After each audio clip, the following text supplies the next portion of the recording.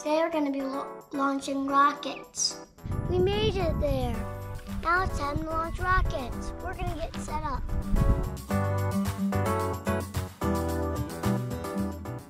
I'm going to teach you what you do first. So, first, you take this, the parachute out. Come on, don't come out. First, you take the parachute out.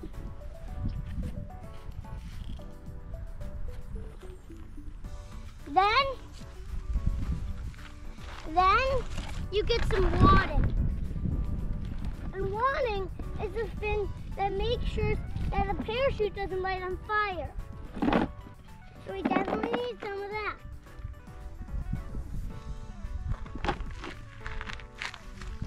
And the way to put it in is you have to put it on top, then just squeeze it in there. And if you need to, get like a like um, a special tool to push it in. Like a tool, like a fork or something. There is a way to put your parachute back in. So the way is to do to first do this and make sure all the air gets out. Then curl it up like this. Then you gotta wrap the string a few times around.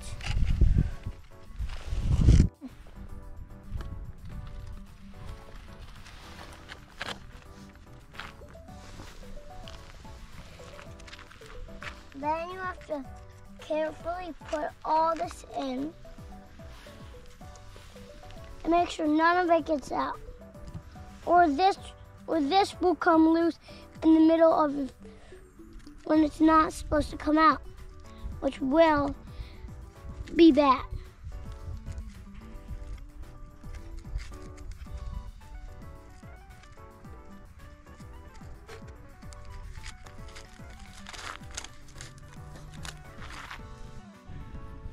So first, see, you have your engine. Then, see this little hole in this clip? See this? And see this? This side goes in, but the other side um, stays out. It might be a little hard to push in, but you do have to push back on this little metal thing a little bit. So then you have the igniter, which you need to put in there. And then you have this thing, and you put it in the hole of there with the igniter still in the hole. This is what it looks like when it's all assembled.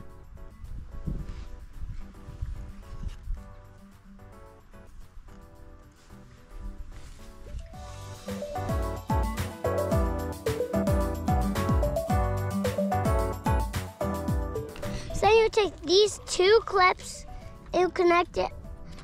And you gotta make sure they're not touching. So you kind of need to bend a little bit. And you have to make sure they're not touching. If they are, the rocket could explode.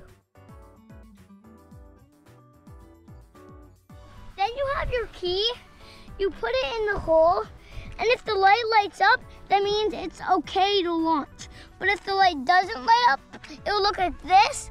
That means there's something wrong with it. 10, 9, 8, 7, 6, 5, 4, 3, 2, 1.